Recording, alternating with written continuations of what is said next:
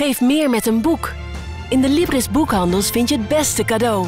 Zoals de nieuwe roman van Joël Dicker, De zaak Alaska Sanders. Het vervolg op de waarheid over de zaak Harry Quebert. Ontdek bij Libris en op Libris.nl.